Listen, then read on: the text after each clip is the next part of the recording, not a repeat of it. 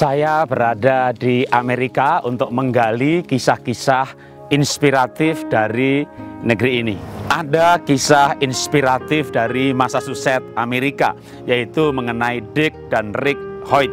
Keluarga ini memiliki anak yaitu Rick Hoyt yang waktu lahir tahun 62 itu tali pusarnya melilit ke leher sehingga oksigen ke otaknya itu sempat terhenti sehingga mengakibatkan anak ini lumpuh, tidak bisa berjalan seumur hidup, bahkan dia pada awalnya tidak bisa berbicara, hanya merespon dengan kedipan mata atau mengangguk.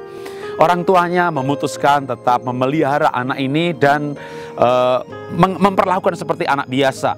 Ayahnya Dick membawa dia bersepeda setiap hari keliling kota atau mendorongnya di kursi roda berkeliling kota atau mengajak jalan-jalan ke pinggir danau.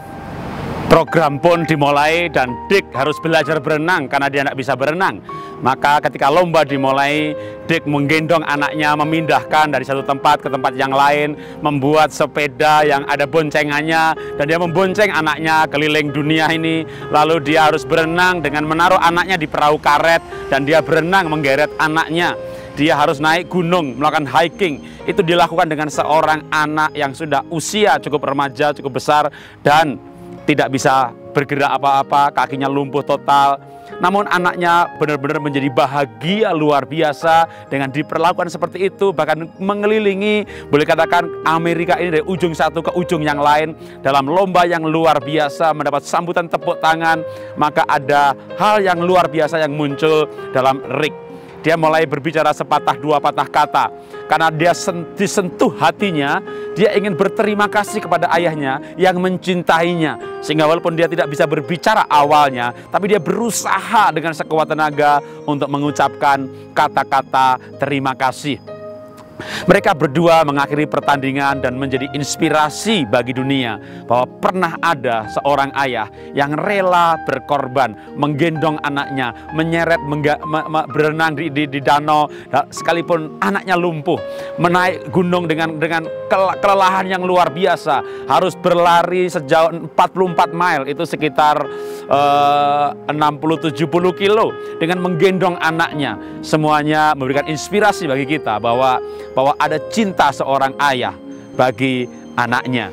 Di akhir masa pertandingan, si Rick diwawancarai dan mengejutkan dia bisa berbicara terbata-bata bahwa dia sangat bahagia sekali punya ayah yang mencintai dia habis-habisan dan dia selalu bermimpi berangan-angan seandainya dia yang berlari dan ayah yang digendong, dia yang naik sepeda dan ayah yang dibonceng pertumbuhan perkembangan yang luar biasa dari seorang anak berkebutuhan khusus karena merasakan cinta ayah yang luar biasa. Saya sering menyebutnya sebagai terapi ayah, adalah terapi yang terbaik karena memang anak itu membutuhkan figur ayah ketika dia merasakan cinta kasih seorang ayah, seorang bapak, maka misalnya dia autis apa hiperaktif, terlambat bicara, tapi karena dia uh, merasakan sentuhan yang luar biasa, maka timbul keinginan untuk berbicara.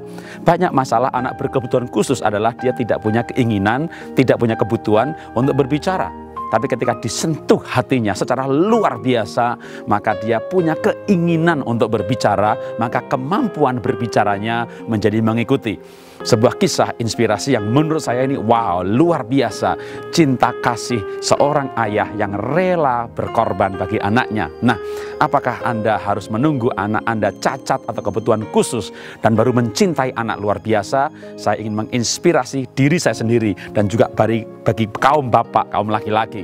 Mari kita belajar untuk mencintai anak kita sebaik mungkin karena dengan demikian anak-anak kita akan tumbuh secara luar biasa.